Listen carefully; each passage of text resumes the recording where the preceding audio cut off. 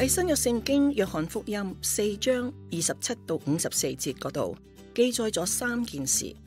头嗰两件就提到有啲人都系因为听到主耶稣所讲嘅同所做嘅而接受福音，相信主耶稣就系救世主，系基督。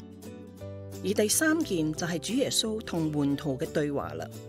佢要门徒明白，佢嚟到世上系要成就救恩，所有相信佢嘅。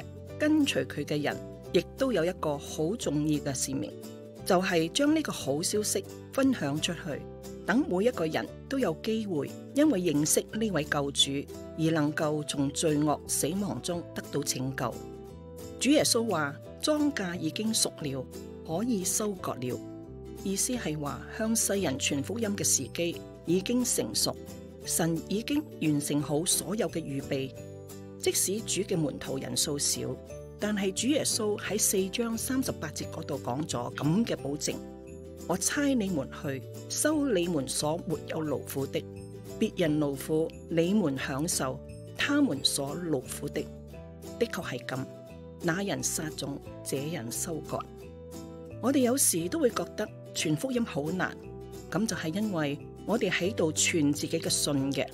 靠自己努力去说服人哋嚟信咯，所以我哋只要全讲耶稣降世为要拯救罪人，这话是可信的。若果你愿意，请你嚟认识佢，自己去经历主嘅大能啦。若果我哋咁样去传福音，就唔使咁劳苦去叫人信，而系俾人知道有一位主已经为我哋付上最大嘅劳苦啦。得出嘅果效就正如经文所记载，撒玛利亚人喺相信主后就讲：现在我们信不是因为你的话，是我们亲自听见了，知道这真是救世主。我系你哋嘅节目主持人钟妙玲，欢迎你收听《爱说两分钟》，我哋十分期待你嘅回应啊！请喺下边留言或者发电邮到五十二 m talk at gmail dot com。系五二 m t a l k at gmail dot com。